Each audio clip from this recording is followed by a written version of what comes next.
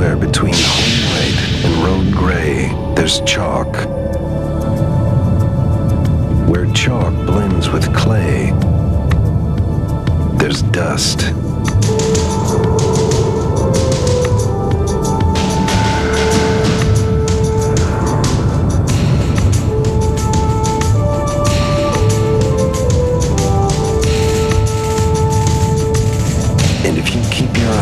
Dead center, where dust and ash converge, you'll strike an overpowering color called smoke. One of the colors between the colors created by Canon. Canon Laser Color.